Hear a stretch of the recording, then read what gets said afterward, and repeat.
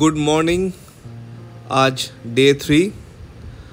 সকাল সকাল উঠে এই দৃশ্য দেখতে বেশ ভালোই লাগে। সামনে সুন্দর কাঞ্চনজঙ্ঘা হোটেলের রুম থেকে।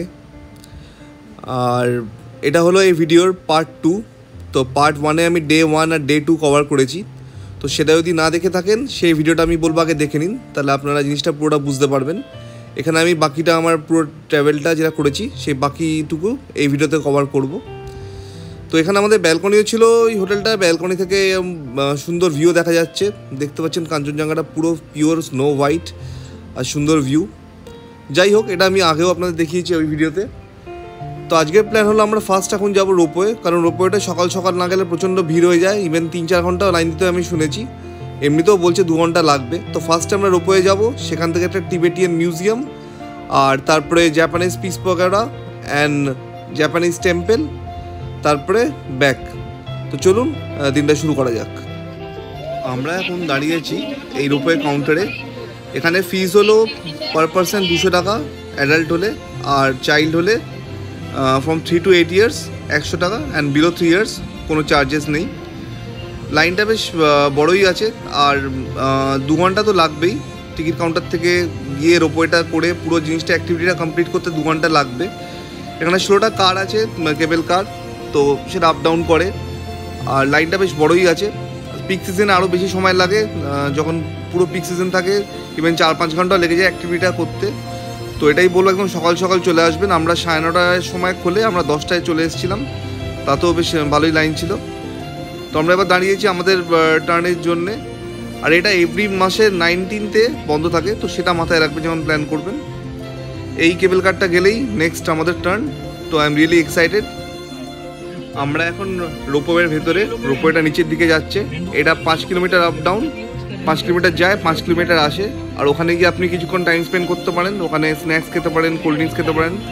এটাকে দার্জিলিং রঙ্গত ভ্যালি রোপওয়ে বলা হয়। আর রোপওয়ে থেকে ডান দিক, বাঁ দিকের ভিউটা খুব সুন্দর। ম্যাক্সিমামটাই পুরো কাঁচে ঘেরা থাকে। এই ডান দিক দিয়ে জানলার একটুখানি স্পেস আছে, যেখান দিয়ে আপনি পুরো জিনিসটা দেখতে পারবেন ভালো করে। এবার আমরা রিটার্ন করছি। আর হ্যাঁ একটা সাজেশন দেবো। যেদিকে রোপওয়েটা যাবে, তার অপোজিট দিকে বসার চেষ্টা করবেন, তাহলে খুব সুন্দর ভিউটা পাবেন। তো এবার আমরা যাব নেক্সট হলো আমাদের টিবেটিয়ান মিউজিয়াম আমরা এখন টিবেটিয়ান মিউজিয়ামে এই মিউজিয়ামটা খুব সুন্দর, প্রচুর আর্টিফ্যাক্টস হিস্টোরিক্যাল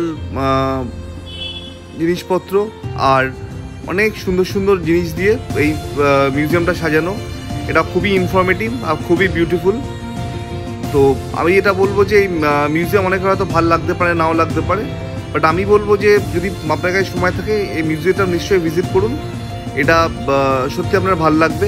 আর এখানে অনেক টিবেটের ব্যাপারে অনেক হিস্ট্রি আছে, অনেক অনেক কিছু লেখা আছে। তো you guys will enjoy it এর নিচেও একটা ফ্লোর আছে সেই সেই ফ্লোরটাতে মেনলি দালাই নামার ব্যাপারে তার লাইফের history and everything and also the Tibetan history from where it started from one twenty seven BC থেকে শুরু করে এখনও পর্যন্ত অল দ্য ইম্পর্টেন্ট ইভেন্টস তো সেইগুলো সব এই ওয়ালে দেখতে পাচ্ছেন মেনশন করা আছে।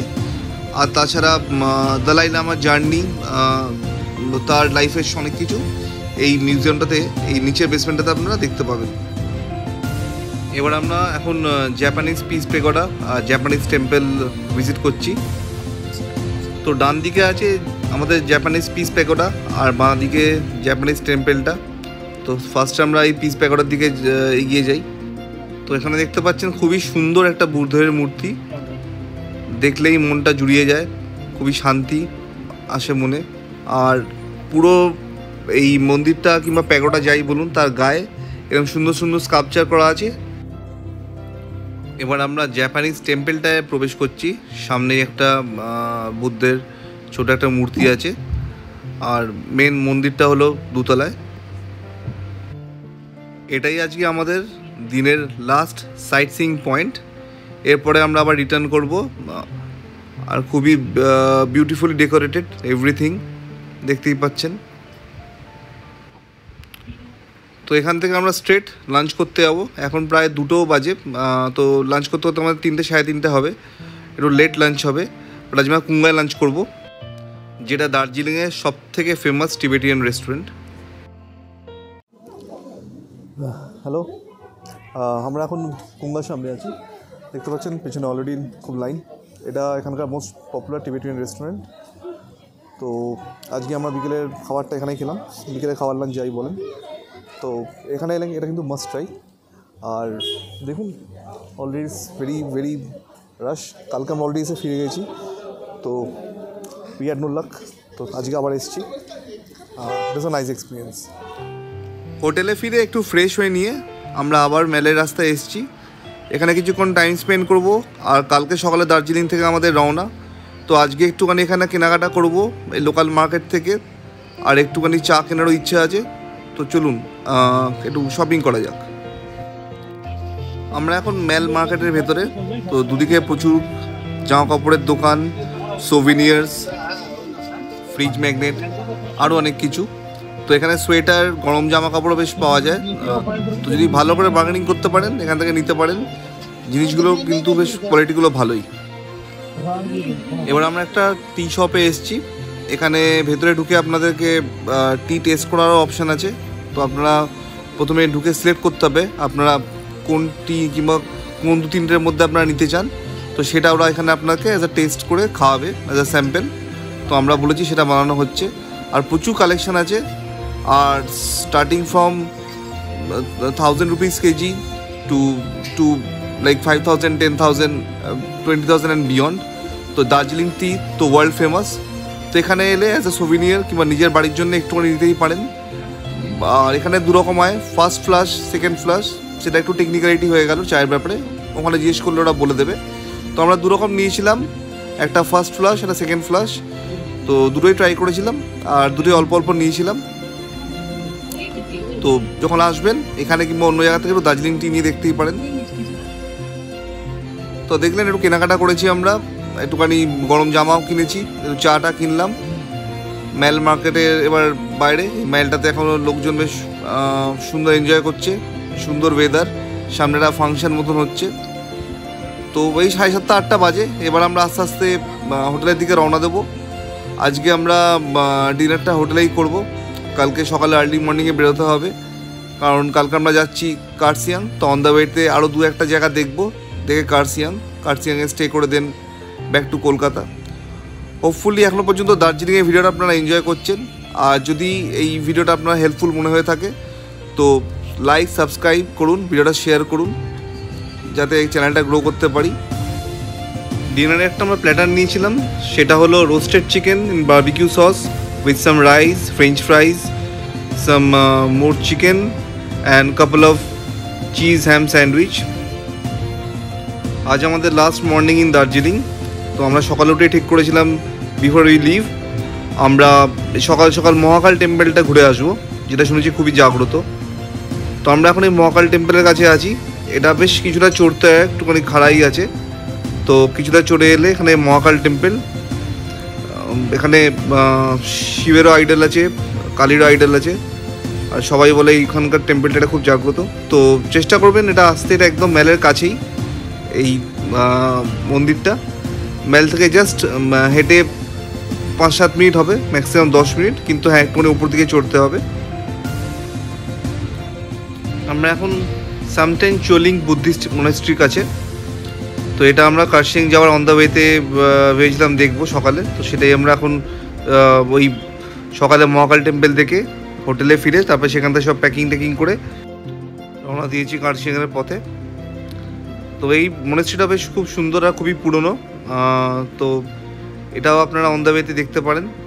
আর ভেতরে যে বুদ্ধর মূর্তিটা বেশ খুব বড় আর খুবই বিউটিফুল অ্যান্ড অ্যাজ ইউজুয়াল যে কোনো বুদ্ধ মূর্তি দেখলে বেশ মনেটা শান্তি আসে, খুবই পিসফুল এবার আমরা নেক্সট এখন পাইন ফরেস্টের পথে। তো এটাই দেখব পাইন ফরেস্টটা তারপরে আমরা আমাদের হোটেলে পৌঁছে যাব কার্সিয়াংয়ে আমি এই হোটেলটা নিয়ে একটা আলাদা ভিডিও বানাবো। ওটাও খুব সুন্দর হোটেল ছিল। Hotel Cochrane palace. তো ওটার জন্য একটা ইন্ডিভিজুয়াল ভিডিও আমি ডিটেলে বানাবো। তো এই পাইন ফরেস্টটা বেশ অনেকটা জায়গা জুড়ে অ্যান্ড ইটস রিয়েলি বিউটিফুল আপনারা দেখতে পাচ্ছেন। ইটস লুকস রিয়েলি অসম আর খুবই মেসমারাইজিং ব্যাপারটা। আর এই রোদ্দুরের মধ্যে দিয়ে যখন আলোটা আসছে, আর এই জায়গাটা ইটস রিয়েলি বিউটিফুল তো আমরা এখন কাশিয়াংয়ে বসে আছি, আমাদের হোটেলের ব্যালকনি থেকে এই ভিউটা দেখা যাচ্ছে।